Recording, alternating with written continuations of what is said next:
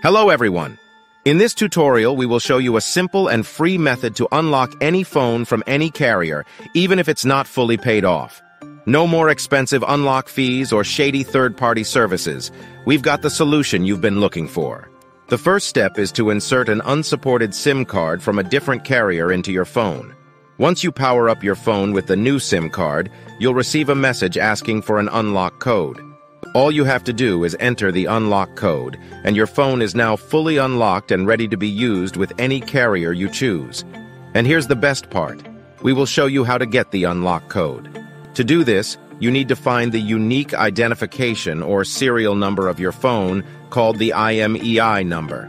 Simply dial star hash 06 hash and the IMEI number will pop up on the screen of your phone. Based on this IMEI number, we will get the unlock code for your phone. If you're a T-Mobile customer or a customer of a mobile carrier that provides a device unlock app, you won't need an unlock code. Things will be much easier for you. Access useanysim.com and find straightforward instructions to unlock your phone for free through a unique method. Get started now and enjoy the freedom of an unlocked phone, all for free. Thank you for watching.